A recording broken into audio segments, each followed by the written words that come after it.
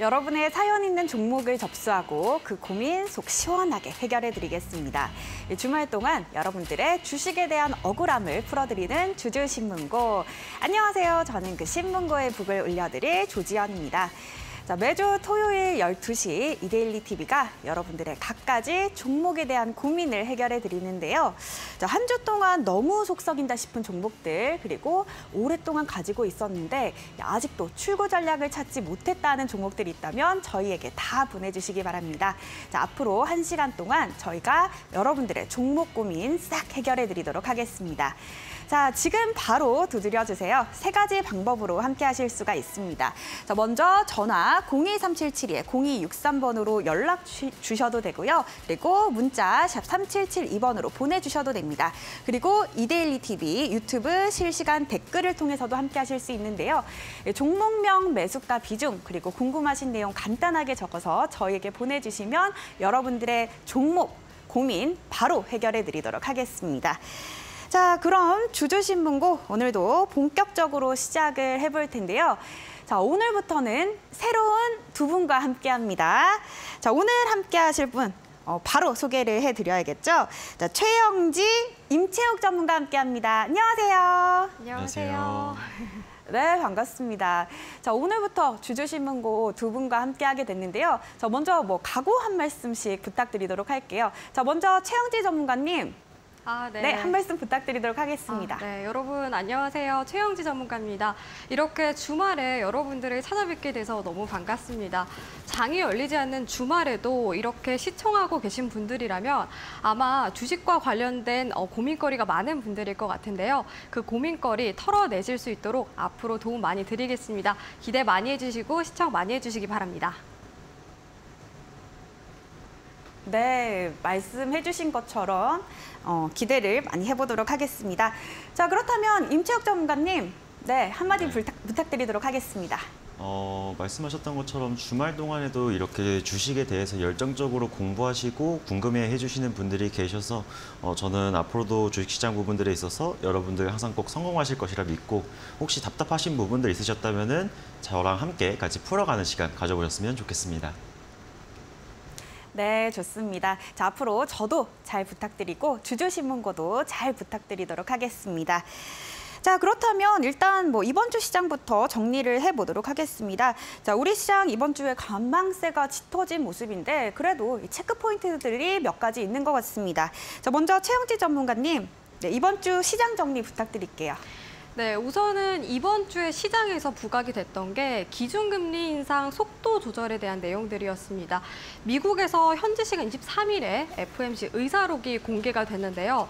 FOMC 회의 이후에 한 달 뒤에 공개가 되는 의사록입니다.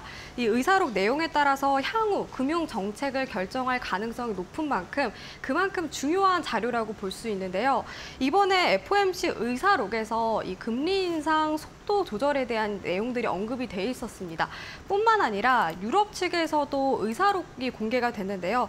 이 의사록에서도 향후에 금리 인상 정책에 대한 속도 조절에 대한 내용들이 포함이 돼 있었습니다. 뿐만 아니라 국내에서는 금리 인상이 단행이 됐죠. 0.25%포인트 인상을 했는데요.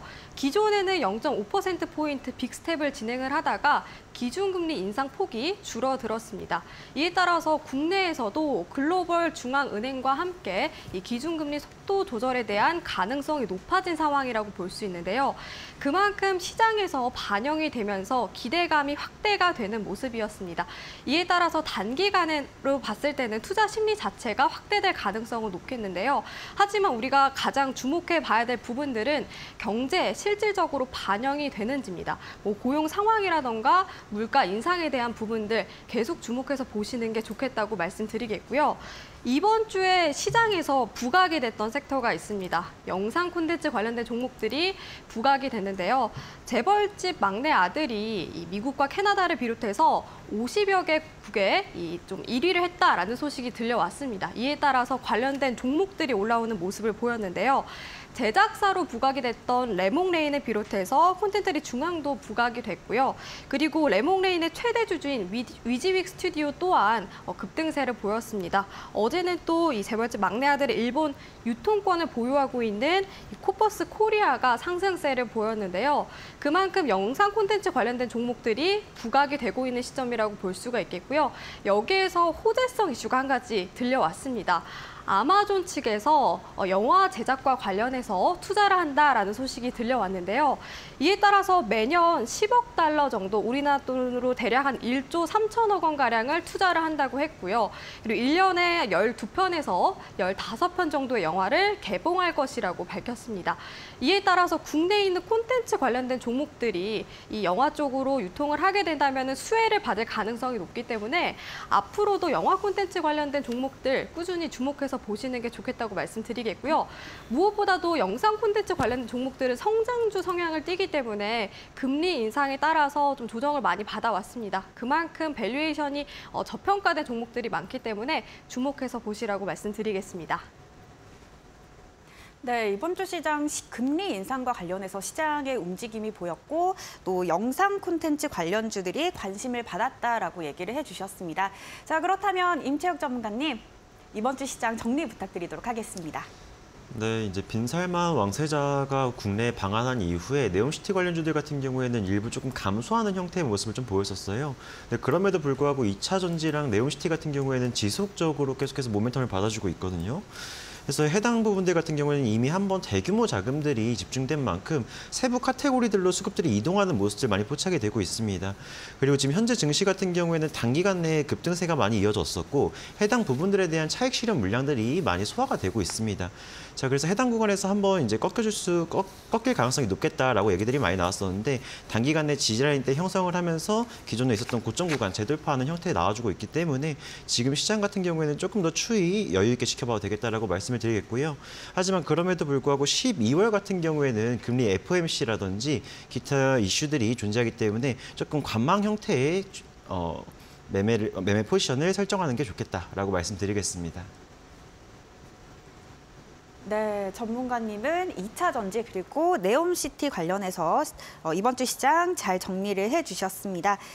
자, 그렇다면 오늘 어, 첫 번째로 어, 두 전문가님과 함께하는 첫 번째 종목 상담인데요. 자, 바로 빠르게 진행을 해보도록 하겠습니다. 자, 그 전에 어, 여러분들이 이 주주신문과 함께할 수 있는 방법 다시 한번 알려드리도록 할게요.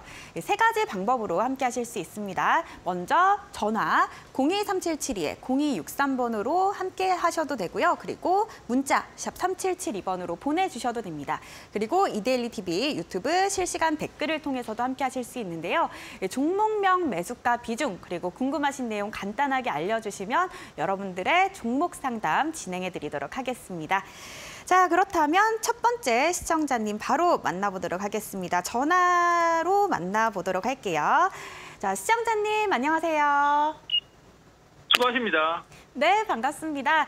자, 오늘 어떤 종목 궁금하실까요? 단알입니다. 단알이시고 매수가랑 비중은요?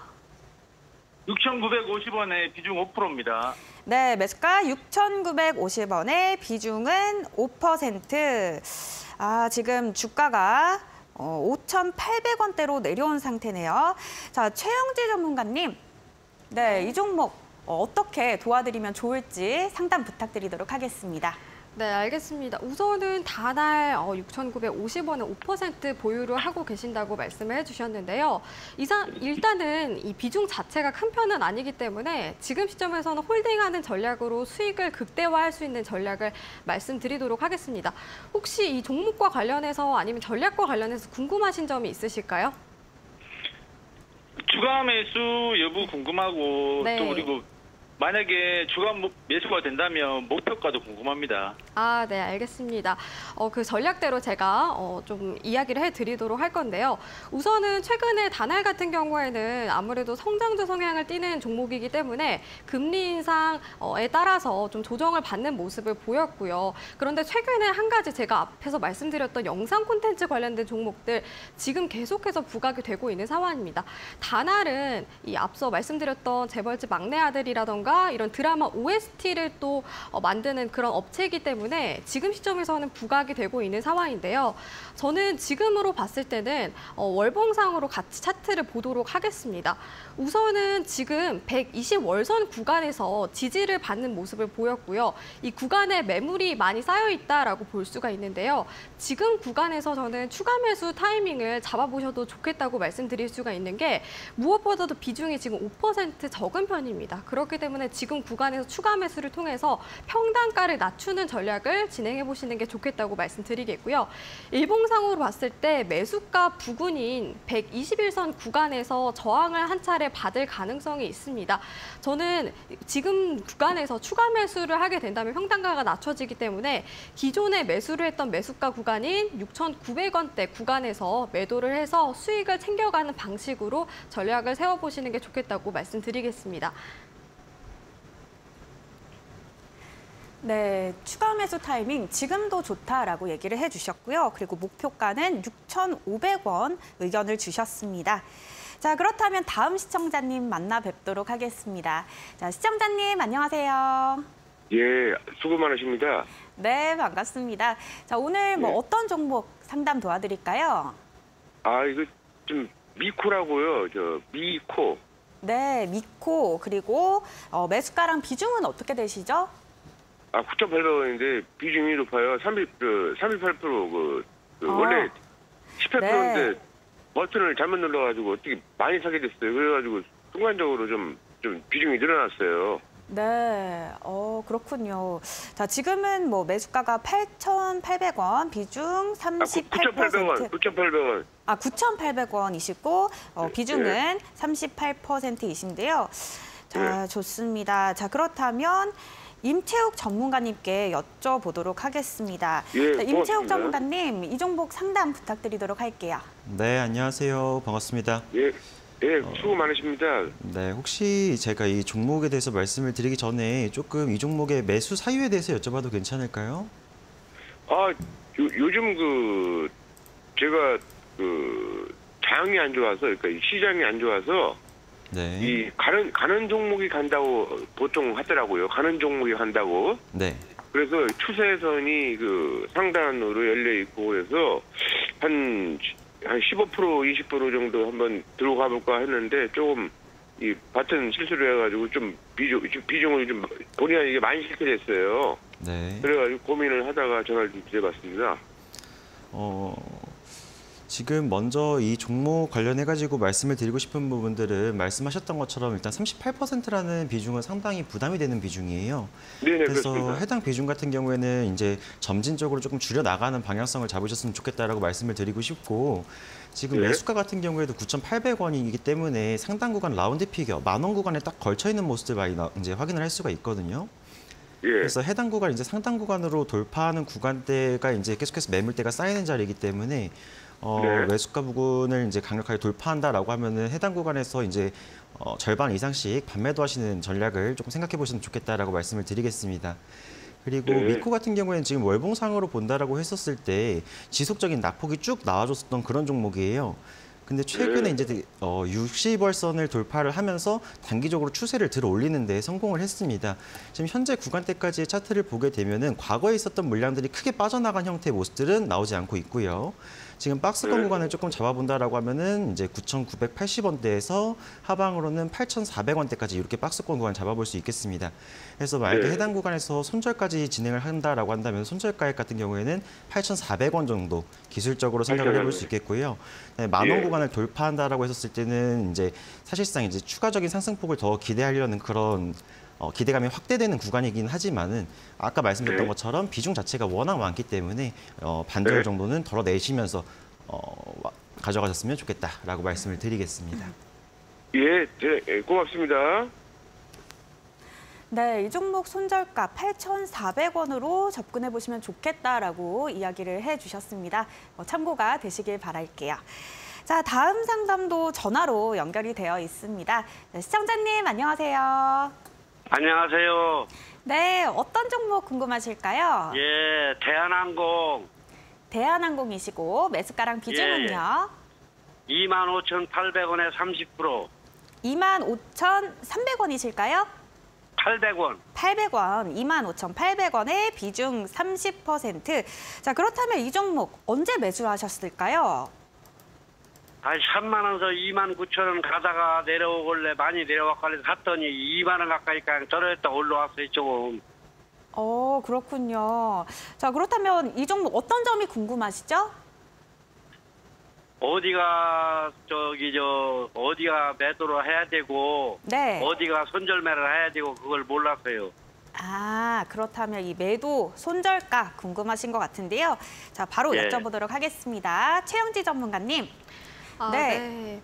어, 대한항공 문의를 해주셨는데요. 우선은 예. 어, 지금 현금 비중이 30%라고 말씀을 해주셨는데 혹시 예. 현금 비중 어, 지금 갖고 계신 현금은 한 몇 퍼센트 정도 될까요?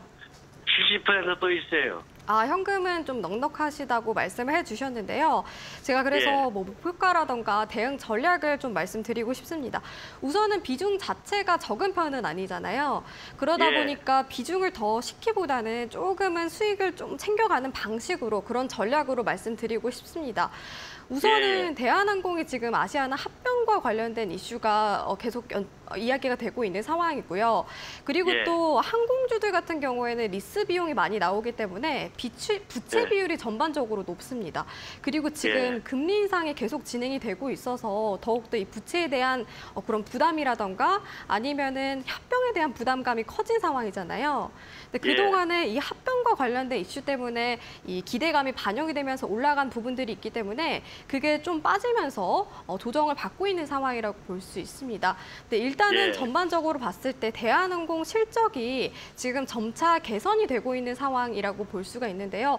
무엇보다도 예. 코로나19 이후에 타격을 받다가 대한항공 같은 경우에는 대표적인 이 항공 기업이기 때문에 어, 좀 회복세에 따라서 코로나19 회복세에 따라서 실적이 개선이 되고 있는 상황입니다. 그래서 저는 좀 손절을 하는 것보다는 오히려 수익을 조금이라도 챙겨갈 수 있는 전략을 말씀드리고 싶은데요. 예. 일단은 지금 대한항공 일봉상으로 봤을 때 조금씩 회복을 하고 있는데 매수가 부근에서 매물이 많이 쌓여 있다는 걸 볼 수 있습니다. 그만큼 이 구간대가 저항대 구간이라고 볼 수 있는데요. 이 구간을 예. 거래량과 함께 돌파를 한다면 수익을 챙겨갈 수 있다라고 말씀드리고 싶습니다. 일봉상으로 예. 확대했을 때 그 다음에 이 매물이 많이 쌓여 있는 구간인 2만 8천 원 구간 보이시죠? 이 예, 구간까지 저는 들고 가시면서 수익을 챙겨가는 방식으로 어, 보시면 좋을 것 같다라고 말씀드리겠고요. 무엇보다도 예. 지금 합병과 관련된 이슈가 많이 언급이 되고 있는 상황인데 이 합병과 관련된 이슈 체크 꼭 꼼꼼하게 하시면서 대응해 나가셨으면 좋겠다고 말씀드리겠습니다. 어, 또 궁금하신 점이 예. 있으실까요? 손절가는 어디까지 가야 되는 거예요? 밑이 떨어지면. 네, 손절가에 대해서 말씀을 해주셨는데 어, 손절가 같은 경우에 저는 사실 손절을 하는 것 자체를 조금은 어, 피했으면 좋겠지만 그럼에도 불구하고 손절가를 잡아달라고 말씀을 해주셨습니다. 월봉상으로 봤을 때 지금 120월선 이 중, 장기 이평선이 지금 매물이 또 많이 쌓여 있고요. 이 구간이 그, 그나마 좀 지지 구간 역할을 하고 있습니다. 대략 한 2만 1,000원 구간이라고 볼 수가 있는데 손절가는 네. 이 구간을 이탈할 경우에는 조정을 추가적으로 받을 가능성이 높기 때문에 왜냐하면 코로나 예. 때 조정을 받았던 구간이 이 밑에 구간이죠. 그렇기 때문에 2만 1,000원 구간을 손절가로 잡아보시는 게 좋겠다고 말씀드리겠습니다. 그러면 저 70%가 있으니까 저 현금이 네. 어디서 얼마나 내려오면 사면 되겠어요? 어, 저는 지금 시점에서는 차라리 이 나머지 비중 현금 보유하고 계신 부분들은 다른 종목에 투자를 하는 게 더 낫다고 판단이 드는 게 지금 불확실한 예. 부분들이 많이 있잖아요. 그리고 저 예. 같은 경우에는 비중을 한 번에 다 한 종목에 싣기보다는 좀 분산 예. 투자를 권하고 있거든요. 그래서 그런 예. 부분들 참고하시면서 분산 투자를 하는 전략이 더 나을 것 같다라고 말씀드리도록 하겠습니다. 예, 예, 고맙습니다. 네, 감사합니다. 예. 네, 대한항공 살펴드렸는데요. 자, 2만 8천 원까지, 2만 8천 원 구간까지 가지고 가시면서 수익 보시면 좋을 것 같고 또 손절가 뭐 굳이 원하셨기 때문에 다시 한번 정리를 해드리면 2만 천 원으로 어, 의견을 주셨습니다. 꼭 도움이 되시길 바랄게요. 자, 다음 시청자님 역시나 전화로 연결이 되어 있습니다. 시청자님 안녕하세요. 네, 안녕하세요. 네, 반갑습니다. 어떤 종목 네. 궁금하실까요? 네, 유 플러스터. 대유 플러스이시고 매수가랑 비중은요? 940원에 10%입니다. 네, 매수가 940원에 비중은 10%. 자, 현재 주가 880원이고 주가 내려온 상태인데요. 자, 임채혁 전문가님, 이 종목 네. 상담 도와드리도록 하겠습니다. 네, 안녕하세요. 반갑습니다.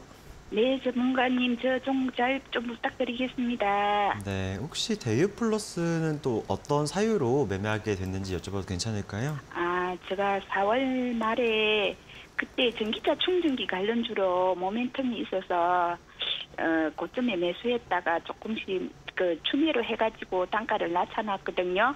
네. 그래서 손절도 못하고 음. 기다리고 있는 중입니다. 어, 말씀하셨던 것처럼 이제 대유플러스 같은 경우에는 SK 시그넷이랑 이제 같이 모멘텀을 가져가는 모습이 나왔었어요. 그래서 실제로 대유플러스 차트를 조금 보게 되면은 월봉상으로 본다라고 해도 지금 현재 가격대 자체가 그렇게 부담감이 있는 자리들은 아니에요. 그래서 지금 굳이 당장 현 시점에서 어, 손절을 고려한다든지 요럴 필요는 없을 것으로 보여지고요. 그다음에 지금 비중이 10%라고 하셨었나요? 네, 네, 그럼 비중 같은 경우에도 지금 당장에는 크게 이제 부담이 될 수 있을 만한 수준이 아니기 때문에 어, 비중적인 부분들에서도 크게 문제점이 없다라고 보여지고요. 그다음에 현재 구간 같은 경우에는 과거에 지지라인대로 한 차례 형성이 됐었던 구간들이에요. 그래서 지금 해당 구간에서 다시 한번 이제 단기적인 반등 추세를 기대해 볼 수 있는 자리다라고 말씀을 드리겠습니다. 대신에 데이유 플러스 같은 경우에는 과거에 한번 121선을 이탈하고 나서부터 그 이후에 121선이 계속해서 저항 구간으로 작용을 하고 있는 상황 입니다. 지금 혹시 차트 보이실까요? 네, 네, 그래서 요 구간 때 이번에 이격도가 많이 좁아졌기 때문에 해당 장기 이평선 상단으로 돌파해 줄 수 있는지까지 확인하시면 좋을 것 같고요. 만약에 손절을 고려해 보신다라고 하신다면은 손절 가액은 780원 정도 잡아 주시면 되겠습니다. 네, 네. 네? 이렇게 대유 플러스 살펴드렸습니다. 자, 다음 상담은 유튜브 상담입니다. 어, 최의형 님이 보내주셨는데요. 반갑습니다. 자, 오늘은 이렌텍 보내주셨습니다. 매수가는 13,608원이시고, 어, 비중은 5% 그렇게 높진 않으십니다. 자, 역시나 또 이 종목 역시 수익권이신데요. 자, 최영지 전문가님, 네. 이렌텍 상담 부탁드리도록 할게요. 네, 알겠습니다. 우선은 이런 이렌텍 13,600원대 5% 정도 보유를 하고 계신다고 말씀을 해주셨는데요. 손실폭 자체도 크지도 않고 또 비중 자, 자체도 적기 때문에 우선은 이 종목 끌고 가서 수익을 극대화할 수 있는 전략을 말씀드리도록 하겠습니다. 우선 이렌텍은요, 어, 휴대폰 관련된 사업을 진행을 하고 있고 또 이 2차 전지와 관련된 사업을 진행을 하고 있습니다. 그런데 금리 인상에 따라서 또 물가도 올라갔고요. 이에 따라서 휴대폰 사업 같은 경우에는 소비 위축에 따라서 실적이 조금은 약화되는 모습을 보였는데요. 그런데 최근에 ESS와 관련된 사업이라던가 아니면 배터리와 관련된 사업이 자동차 2차 전지 관련된 종, 어, 어, 그 사업이 부각이 되면서 조금 회복하는 모습을 보이고 있는 상황입니다. 우선은 실적을 함께 살펴볼 건데요. 이 종목 이번에 이 4분기까지 좀 예상치가 나와줬는데 매출액이라던가 영업이익이 감소한 수치를 기록할 걸로 보입니다. 이 비- 부분들 같은 경우에는 아무래도 휴대폰 사업 쪽이 위축이 되면서 감소할 걸로 보이지만 앞으로 2차 전지와 관련된 사업을 통해서 실적을 개선해 나갈 가능성이 높거든요. 그렇기 때문에 지금 구간에서 어, 좀 극대화할 수 있는 전략을 말씀드리도록 할 건데요. 차트 보면서 설명해 드리도록 하겠습니다. 이 종목 같은 경우에는 지금 구간에서 이 월봉상으로 봤을 때 20월선 구간이죠. 이 구간에서 한 차례 저항을 받고 있지만 이 구간에 매물이 크게 쌓여 있지 않기 때문에 이 구간을 뚫고 올라갈 가능성이 높겠고요. 거기에다가 이번에 4분기 이후에 내년에 실적이 개선되는 모습을 보였을 때 조금 더 주가가 상승 추세를 이어갈 가능성이 높다고 볼 수가 있습니다. 추세 자체가 살아있다라고 해석을 할 수가 있겠고 어, 여기 보시면은 지금 기준 선 구간이 있는데요. 기준선 구간이 어, 저항대 구간을 할 가능성이 높습니다. 그래서 어, 지금 비중 자체가 크지는 않지만 14,900원대 구간에서 목표가를 잡아보시고 수익을 챙겨가는 방식으로 매매 전략을 세워보시는 게 좋겠다라고 말씀드리도록 하겠습니다. 네, 이 종목 어, 역시나 가이드라인 잘 전달을 해드렸으니까요. 잘 판단하시고 수익으로 꼭 연결이 되시면 좋겠습니다. 자, 그렇다면 다음 시청자님 만나볼 텐데요. 자, 역시나 유튜브 상담입니다. 보슬빈 님이 보내주셨고요. 어, 종목은 한국가스공사고 매수가는 34,740원, 비중은 10%입니다. 어, 시청자님 지금 두 가지가 궁금하신 것 같은데요. 자, 일단 목표가 궁금하다고 하시고 그리고 어, 두 번째로 배당을 받는 것이 좋을지가 궁금하다고 하십니다. 자, 임채욱 전문가님, 네, 시청자님 궁금하신 부분 속 시원하게 해결 부탁드리도록 하겠습니다. 네, 이제 한국가스공사라는 기업부터 먼저 보도록 하겠습니다. 해당 기업 같은 경우에는 통상적으로 이제 실적이 잘 나와주고 있을 때도 주가가 그 실적에 대한 영향을 강하게 받지는 못하는 모습들이 조금씩 나와요. 근데 이제 지금 한국가스가스 한국가스공사 같은 경우에는 이렇게 이제 공기업의 성격을 많이 띈 기업들이 주가가 실적과 이제 바로 직결되지 않는 모습들이 나옵니다. 그래서 단기적으로 이제 기존의 고점 구간을 이제 강력하게 돌파를 하지 못하는 그런 모습들이 연출이 되기 때문에 단기적으로 목표가 같은 경우에는 이제 4만 4천 원 구간대에 제시를 해드리겠고요. 그리고 한국가스공사, 한국가스공사 같은 경우에는 이제 과거에 보게 되면은 이제 배당이 이제 상대적으로 다른 기업들 대비해서 높은 형태의 모습을 많이 보여주고 있습니다. 그래서 한국가스공사를 조금 장기적인 모멘텀으로 보시겠다라고 하신다면은 어, 배당은 받아가시는 게 좋겠다라고 말씀을 드리겠고요. 배당까지 받아가면서 보다 더 이제 긴 호흡으로 보시겠다라고 한다면은 상당 구간대 5만 3천 원 구간대까지도 노려보시면 좋겠다 이렇게 말씀을 드리겠습니다. 네, 시청자님 일단 배당은 받는 게 좋다라고 의견을 주셨고요. 그리고 목표가 5만 3천 원이라고 아주 깔끔하게 속 시원하게 해결을 해주셨습니다. 꼭 도움이 되시길 바랄게요. 자, 지금도 늦지 않았습니다. 여러분들 저희 방송 생방송 중에 실시간으로 여러분들의 고민 해결 도와드리고 있기 때문에요. 지금도 보내주셔도 됩니다. 자, 세 가지 방법으로 함께 하실 수 있습니다. 자, 먼저 전화 02377-2에 0263번으로 연락 주셔도 되고요. 문자 샵 3772번으로 보내주셔도 됩니다. 그리고 이데일리 TV 유튜브 실시간 댓글을 통해서도 함께 하실 수 있는데요. 예, 종목명, 매수가, 비중, 그리고 궁금하신 내용 간단하게 알려주시면 여러분들의 종목 해결 바로 도와드리도록, 도와드리도록 하겠습니다. 자, 그렇다면 다음 시청자님 또 종목 상담 해드려야겠죠. 자, 지금 들어온 건 유튜브 상담입니다. 자, 주원 보내, 아, 대동전자 보내주셨고요. 주원님이 보내주셨네요. 자, 매수가는 14,500원이시고 비중은 20%입니다. 자, 이 종목 최영지 전문가님께 여쭤보겠습니다. 최영지 전문가님, 이 종목 어, 네. 상담 부탁드리도록 할게요. 아, 네. 대동전자 14,500원 비중 20%라고 말씀을 해주셨는데요. 이 종목에 대해서는 사실 조금 할 말이 많이 있습니다. 되게 좀 특징이 뚜렷한 종목이라고 볼 수가 있는데요. 우선은 사업은 전자 부품과 관련된 사업을 진행을 하고 있고요. 이 종목 같은 경우에도 아무래도 좀 소비 심리 자체가 위축이 됐기 때문에 주가 자체가 조정을 받고 있는 상황이라고 볼 수가 있고 실적 같은 경우에도 최근에는 크게 늘어나지 않고 오히려 매출액 같은 경우에는 감소하는 모습을 보였습니다. 그래서 소비 심리가 확대됨에 따라서 실적이 개선이 될 걸로 보이는데 일단은 지금은 실적이 조금은 아쉬운 면이 있다라는 거 같이 알고 계시면 좋겠는데요. 제가 앞서 말씀드렸던 게 큰 특징을 갖고 있다고 말씀을 드렸잖아요. 보시면은 지금 최대 주주 비중이 지분율이 60% 가량이고요. 자사주가 22%입니다. 그렇다면은 유통되고 있는 물량 자체가 굉장히 적다라고 볼 수가 있겠죠. 그래 이런 종목들 특성 같은 경우에는 아무래도 거래량이 크게 받쳐주지 않아도 주가 변동 성 자체가 큽니다. 그만큼 호재성 이슈가 있었을 때 주가가 급등하는 그런 성향을 보이는데요. 어, 최근에 시장에서 이런 종목들이 크게 이슈 없이 같이 움직이는 모습을 보였거든요. 그래서 그런 걸로 봤을 때는 지금 이 종목 자체, 특성 자체가 좀 매력적인 부분이 있기 때문에 홀딩 하시면서 수익을 챙겨가시는 전략을 말씀드리고 싶습니다. 비중 자체가 적은 편은 아니지만 추가 매수 여력은 남아있다라고 저는 보고 있거든요. 이 구간 같은 경우 에는 지금 14,500원대 매수를 하셨다고 했고 그리고 현재는 11,500원대입니다. 만 원 구간을 이탈할 경우에는 마디 구간을 이탈을 하는 거기 때문에 조정을 받을 가능성이 높기 때문에 만 원 구간을 일단은 뭐 손절가라던가 아니면 추가 매수 비중을 더 싣고 싶다 하시다면은 만 원을 이탈했을 때 기회를 엿보시는 게 좋겠다라고 말씀드리겠고요. 앞서 말씀드렸던 것처럼 이 종목은 변동성이 크다는 그런 특징을 갖고 있습니다. 그래서 월봉을 보면서 어, 좀 목표가를 정해드리고 싶은데요. 이 종목이 아마 매수가 부근 구간에서 조금 매물이 좀 많이 쌓여 있는데 확대를 했을 때 최근 2년 동안 매물이 많이 쌓여 있는 구간이 대략 15,500원 정도입니다. 이 구간까지 이 목표가로 잡아보시면서 수익을 극대화하는 전략을 말씀드리도록 하겠습니다. 네, 충분히 매력적인 종목이기 때문에 보유하시는 의견을 주셨습니다. 어, 고려하셔서 꼭 수익으로 이어지시길 바랄게요.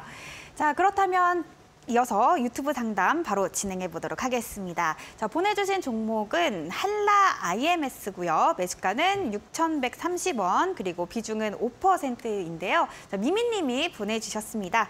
자, 매수를 하시고 이 4,400원대까지 떨어져서 철렁하셨을 것 같아요. 그래도 지금은 많이 올라온 모습인데요. 자, 임채욱 전문가님, 이 종목 어, 어떻게 또 접근하면 좋을지 상담 부탁드릴게요. 네, 한라 IMS를 보게 되면은요. 지금 현재 차트 같이 보도록 하겠습니다.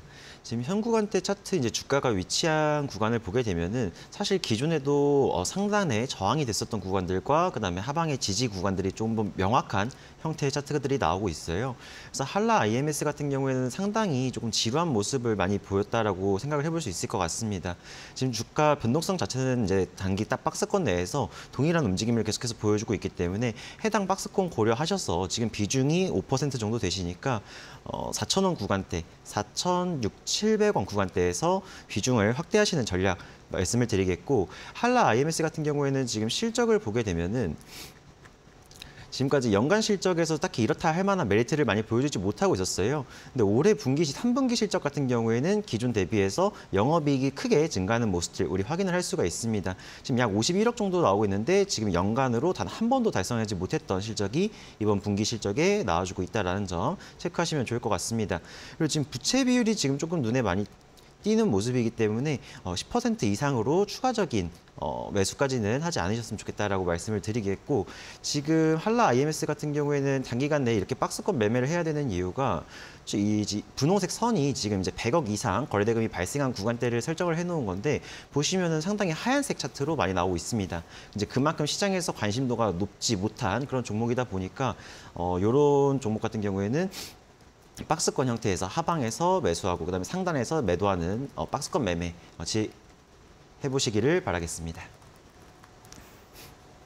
네, 전문가님 말씀처럼 어, 박스권 매도 고민을 해보시고 꼭 어, 수익으로 이어지시길 바라도록 하겠습니다. 자, 이어서는 문자 상담입니다. 4725님이 보내주셨고요. 어, 종목은 새우 글로벌입니다. 매수가는 2,200원이고, 오, 비중이 꽤 크네요. 70%입니다. 자, 어떻게 해야 될까요? 이렇게 왔네요. 지금 현재는 뭐 매수가보다는 살짝 올라온 모습인 것 같은데, 최영지 전문가님, 이 종목 어떻게 해야 될까요? 네, 우선은 지금 새우 글로벌 2,200원 구간에 매수를 하셨고 지금 한 약수익인 걸로 알고 있습니다. 그런데 비중 자체가 70%면은 큰 편이라고 볼 수 있는데요.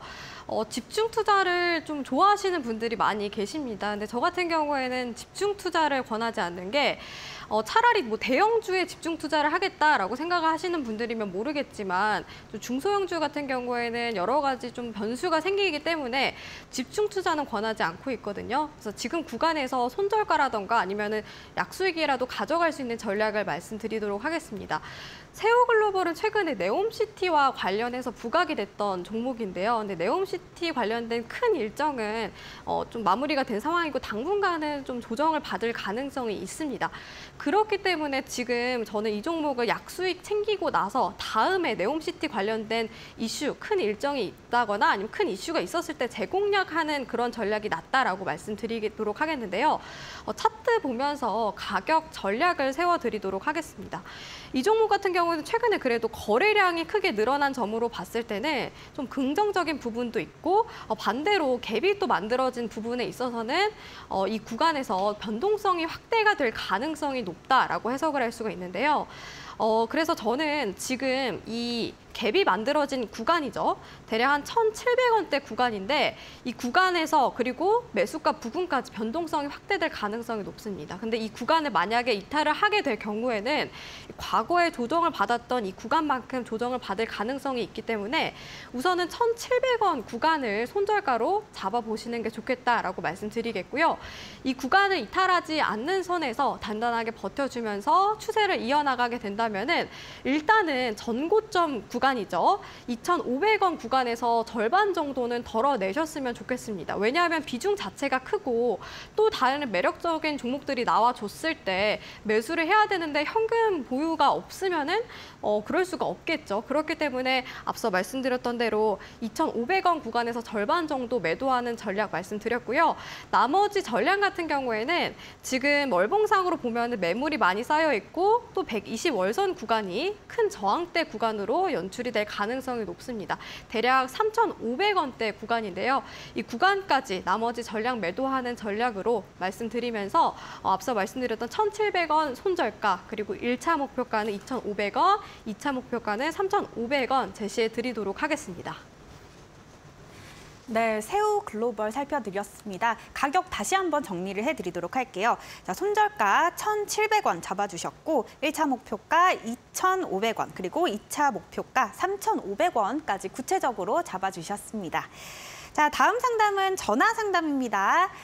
아, 문자 상담입니다. 자, 종목은 드래곤 플라이고요. 그리고 매수가는 2,500원입니다. 비중이 15%네요. 자, 매수가 올까요? 라고 질문을 주셨습니다. 자, 임채혁 전문가님, 이 매수가까지 올라올 수 있을까요? 어, 드래곤플라이 같은 경우에는 이제 통상적으로 메타버스 관련주로도 많이 연결을 연결고리를 가지고 있고 그리고 디지털 치료제 관련해서도 모멘텀을 많이 받아줬었던 종목 중에 하나입니다. 근데 지금 현재 주가 구간을 보게 되면은 이제 코로나 당시 구간대까지 하락한 모습들이 나와주고 있어요. 그래서 지금 주가 같은 경우는 하방 경직성이 강한 구간이다라고 볼 수가 있겠는데 이걸 월봉상으로 보게, 보게 되면은 드래곤플라이 같은 경우에는 지금 계속해서 60월 선을 기준으로 저항을 맞고 있는 모습들 확인을 할 수가 있습니다. 그래서 이제 기존 구간대를 이제 돌파하는 그런 형, 양상들이 많이 나와줘야 되는데 문제가 뭐냐면은 지금 시장 같은 경우에는 금리 인상이라든 금생, 금리 인상 때문에 어, 실적이라든지 기업의 펀더멘탈 관련해서 상당히 이제 focusing이 많이 맞춰지는 시기예요. 그래서 성장주들한테 상당히 이제 취약할 수밖에 없는 환경이다라고 말씀을 드리고 싶습니다. 그래서 단기적으로 어떤 방향성 전환은 조금 힘들어 보이는데 음, 해당 구간에서 지금 어떤 손절을 고려하기에는 상당히 이제 낙폭이 컸기 때문에 해당 구간에서 손절을 하는 것은 별로 의미가 없다라고 보여집니다. 그래서 비중 확대 없이 단기 구간 내에서 다른 수익 종목들과 함께 상계하면서 조금씩 비중 줄여나가는 전략을 말씀드리도록 하겠습니다. 네, 좋습니다. 이렇게 어, 종목 살펴드렸고요. 자, 이어서 또 다음 종목 살펴보도록 하겠습니다. 유튜브 상담인데요. 자, 대성 에너지 보내주셨습니다. 자, 현재 매수가는 14,700원이시고 비중은 30%이십니다. 자, 어떻게 해야 할지 머리가 아픕니다. 이렇게 보내주셨네요. 자, 조언 부탁드린다고 이렇게 또 간절하게 보내주셨는데요. 상담 잘 도와드려야겠죠. 자, 그렇다면 이- 어, 최영지 전문가님, 네. 네, 이 종목 뭐 머리가 아프시다, 네. 지끈지끈하다라고 하시는데요. 어떻게 네. 도와드릴 수 있을까요? 네, 아, 정말 고민이 많으실 것 같아요. 일단은 비중 자체도 적은 편도 아니고 지금 구간에서 아마 어, 14,700원대에서 매수를 하셨으면은 좀 손실 폭이 큰 것 같은데요. 그런 만큼 손절가라던가 비중 축소 구간과 그리고 어, 조금이라도 손실을 줄일 수 있는 전략을 말씀드리도록 하겠습니다. 대성 에너지 같은 경우에도 제가 앞서 말씀드렸던 대로 이 종목도 조금 매력적인 특정 특성을 갖고 있는데요. 이 종목도 최대 주주 비중이라던가 뭐 이 비중이 굉장히 큰 편입니다. 그러다 보니까 유통되고 있는 물량 자체가 적은 종목이기 때문에 거래량이 크지 않아도 변동성이 크다는 그런 좀 장점을 갖고 있는데요. 반대로 또 어, 악재가 터진다거나 아니면 상황이 안 좋아졌을 때 변동성이 크기 때문에 급락할 가능성이 높겠죠. 그런 특성을 갖고 있는 종목입니다. 이 종목 같은 경우에 최근에 실적을 보시면은 이번 3분기에 적 적자로 전환이 됐는데요. 이런 부분들로 봤을 때는 조금 아쉽다라고 볼 수가 있겠죠. 그래서 손절가라던가 비중 축소 구간을 먼저 잡아드리고 싶은데요. 지금 14,700원대 매수를 하셨다고 말씀해 주셨는데 일봉상으로 봤을 때 중장기 이평선 구간이 있습니다. 대략 한 12,000원대 가량인데요. 이 구간까지 올라왔을 때 비중을 조금은 덜어내시고 어, 덜어, 덜어내시는 전략 말씀드리도록 하겠고요. 나머지 본전까지 왔을 경우에 이 14,700원 구간대까지 왔을 경우에 본전에서 전략 매도를 통해서 손실을 좀 줄여가는 방식으로 매매를 세우시는 게 좋겠다라고 말씀드리겠습니다. 네, 현재 뭐 손실을 줄여보는 방향으로 접근해 보시는 게 좋겠다라고 어, 이 의견을 잘 주셨습니다. 자, 다음 상담도 유튜브 상담입니다. 어, 세토피아 님이 보내주셨고요. 종목은 블루콤입니다. 네, 매수가가 2,000, 네, 세토피아 이 블루콤이고요. 매수가 2,250원, 비중은 10%인데요. 자, 어떻게 해요? 이렇게 오셨네요. 자, 이 종목 임채욱 전문가님 어떻게 상담을 도와드리면 좋을까요? 네, 세토피아 종목 보도록 하겠습니다. 지금 현재 주의 경고가 떠 있는 종목이기도 하고요.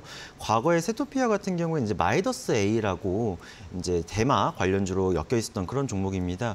지금 단기적으로 구간을 보게 되면 상당 구간 이제 매수가 구간들을 훨씬 이탈한 모습들이 나와주고 있어요. 근데 이 종목 같은 경우에는 지금 보게 되시면은 지분 분석 같이 보도록 하겠습니다.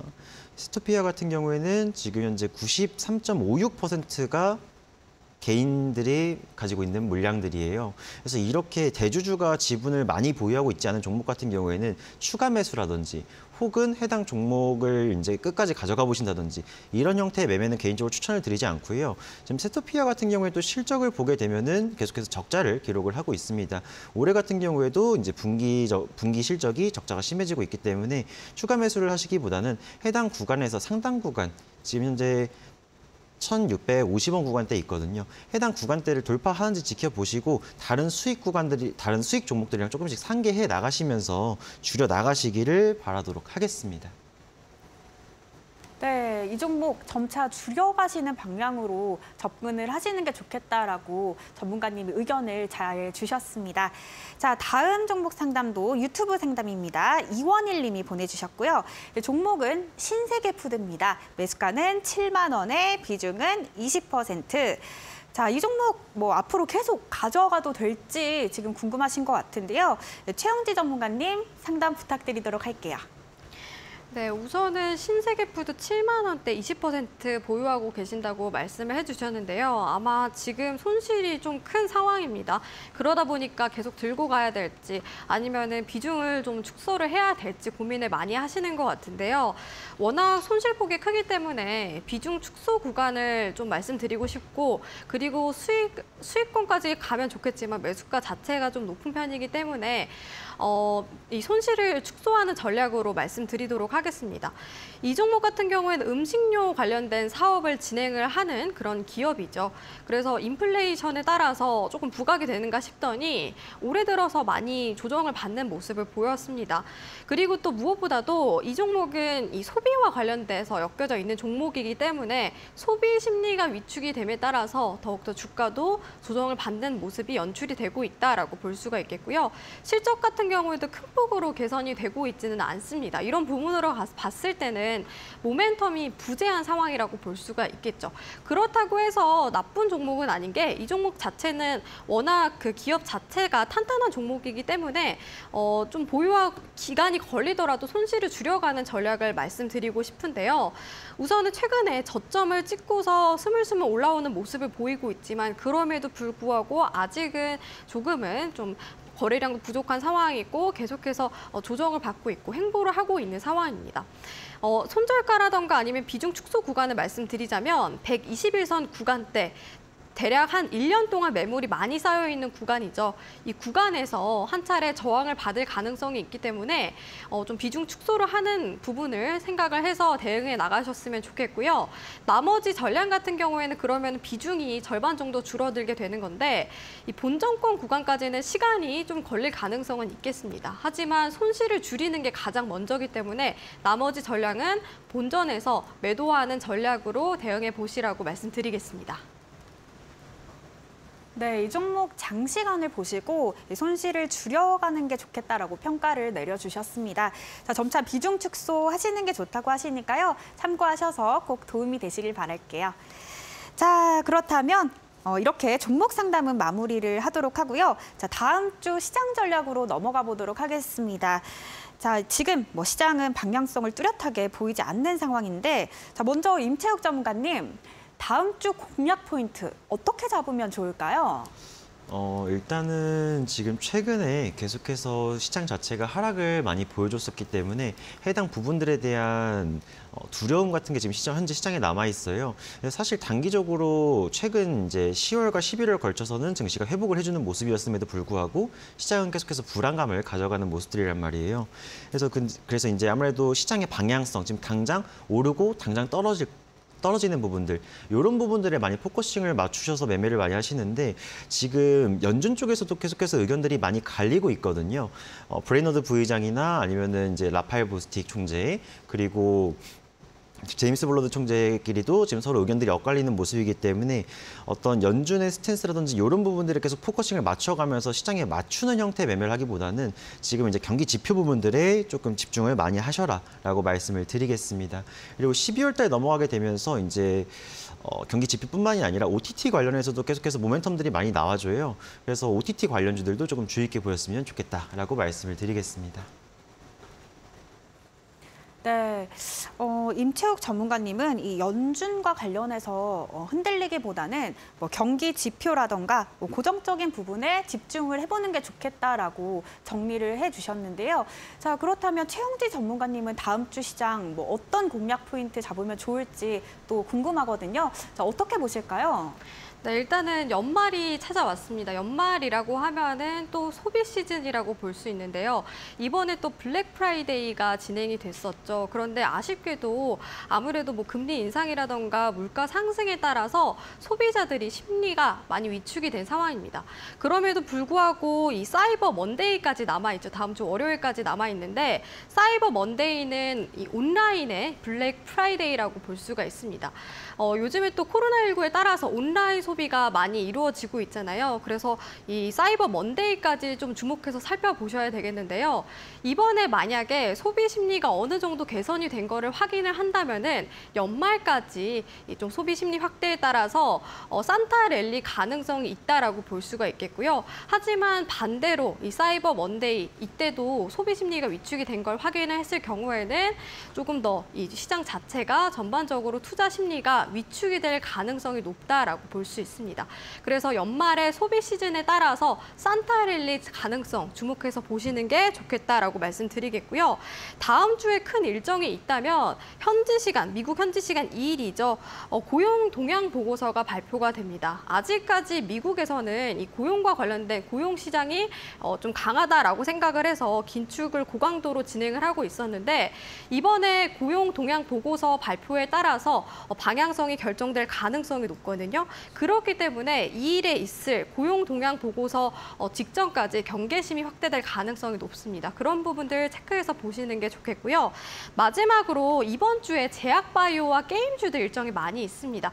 우선은 게임주 2일에 크래프톤이 신작을 출시하는데요. 이 신작 출시는 아무래도 이 시장 전반적으로 게임주들 전반적으로 긍정적이게 반영이 될 수 있기 때문에 2일에 있을 크래프톤 신작 출시 소식 주목해서 보시는 게 좋겠고 주말에는 애니메이션 게임 축제가 열립니다. 여기에 참여하는 기업이 카카오 게임즈와 이 넥슨 등이 있는데 이 참여하는 기업들도 주목해서 보시는 게 좋겠다고 말씀드리겠습니다. 그리고 제약바이오는 29일에서 2일까지 알츠하이머 임상학회가 열립니다. 이 관련된 기업으로 삼성 바이오로직스와 ABL 바이오가 언급이 되고 있는데요. 아무래도 최근에 성장주들이 전반적으로 조정을 많이 받아왔기 때문에 일정이 있었을 때 움직이는 모습을 보이고 있습니다. 그래서 이 일정들 체크해 보시면서 어, 다음 주 시장도 잘 대응해 나가셨으면 좋겠습니다. 네, 최영질 전문가님, 이제 연말이니까 소비 시즌이라서 산타랠리 가능성이 있다. 또 이 미국의 고용 동향 보고서가 발표됨에 따라 방향성이 뚜렷해질 거다라고 얘기를 해주셨고요. 그리고 구체적으로 또 제약바이오와 게임주의 일정까지 주목을 해보라고 잘 정리를 해주셨습니다. 자, 네, 알겠습니다. 두 전문가님의 다음 주 공략 포인트까지 잡아봤고요. 자, 오늘 또 새로운 두 분과 함께하게 됐는데요. 어, 너무 좋았습니다. 두 전문가님 그럼 다음 주에 또 뵙도록 할게요. 감사합니다. 네, 주주신문고 오늘 새로운 전문가들과 함께 시작한 첫날이었는데요. 자, 저희는 다음 주도 어, 토요일 12시에 찾아옵니다. 다음 주에도 기분 좋게 찾아뵙도록 하겠습니다. 시청해주신 여러분 고맙습니다.